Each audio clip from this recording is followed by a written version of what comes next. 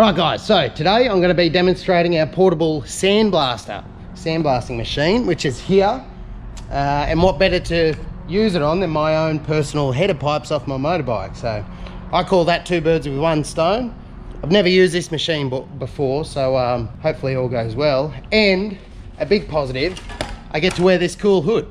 So I'm gonna give you a first person view of down the barrel of the uh, actual sandblasting tip. A couple of these on. Should be fun. Check out my little corner I've set up here. Once we get out of the light. Ah, how cool is that? Catch all the crushed glass I'm using. So this will help contain it all and make the cleanup easier. I'll be using my P2 mask because uh, crushed glass is definitely not something to take lightly. Without further ado, I'll uh, show you guys how to fill this machine up and then we're off. So, we just back this off, make sure there's no pressure in it obviously. You'll find out pretty quick if there is.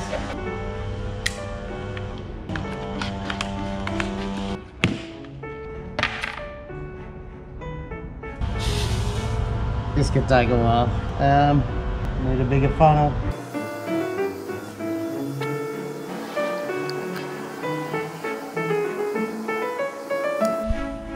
Well, that should keep me going for a while. Crushed glass. Yeah.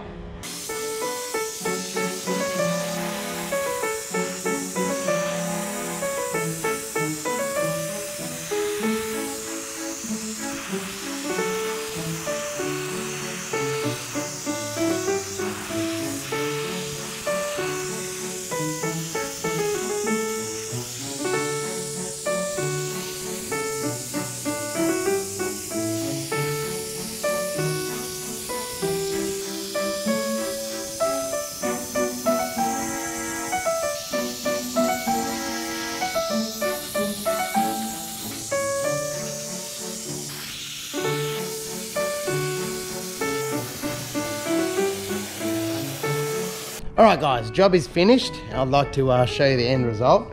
But firstly, there's a couple of notes I'd like to add. If you're ever using a GoPro near a sandblaster shooting crushed glass, be sure to cover the lens with something or it will likely crack and get destroyed. Luckily the lenses are interchangeable, but that's one I have to explain to the bosses. So uh, yes, hindsight's a beautiful thing. It seems obvious looking back at it, but I just didn't think of it. So this is how they came up, and this took two buckets of sand to uh, to achieve. I'm not at all disappointed with the results. Not that you need to know about that. We're focusing on the on the sandblaster, aren't we? Look, here he is. So this unit is under $200. Uh, it comes with everything. All you need is a compressor to and uh, and you're off. So we also sell uh, sandblaster booths too. We got four or five different types of them. So just thought you guys might like to uh, might like to see it, and I got to clean my header pipes whilst showing you guys. So who, who's the real winner here? You guys, obviously. All right, until the next one. Bye. All right, guys, if you like this video, be sure to hit like and subscribe and leave any questions in the comment section below.